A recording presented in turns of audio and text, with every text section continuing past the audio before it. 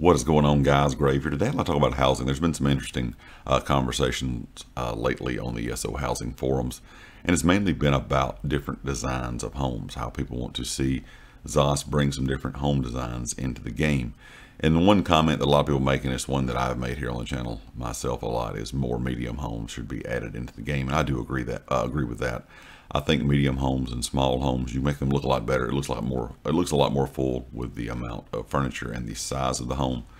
And I feel like a lot of people feel like I do. Uh, when it comes to these really large homes, some of them look amazing, but at the same time, they look very empty. You have to block off areas just to be able to get, uh, you know, the spaces filled.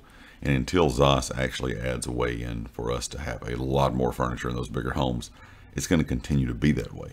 So more medium style homes and there's also been a conversation about guilds, uh, guild halls, which is another thing that I talked about here on the channel a while back.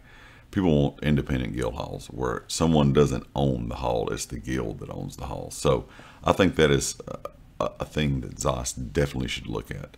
Um, right now, of course, if you have a massive home, you cannot have every guild member you have in a guild in your home anyway because of the amount of players that can be you know in the home at one time. But I still feel that a guild hall would be a, a really good thing for the game people have been talking about also um, homes that appear not to be maybe houses, um, more hidden kind of looks to them. So there were some comments that I saw where people were talking about maybe walking walking up to kind of a rock faced wall. You know, there's kind of a secret entrance there, and it goes into the house. Something that doesn't necessarily look just like a house from the outside, but you know, from the inside is actually you know the home that whatever style that you know that it could be, depending on how that was designed, how that maybe that entrance was designed. And I think that's a really unique idea. I think those kind of hidden home ideas are, are something that people would really like.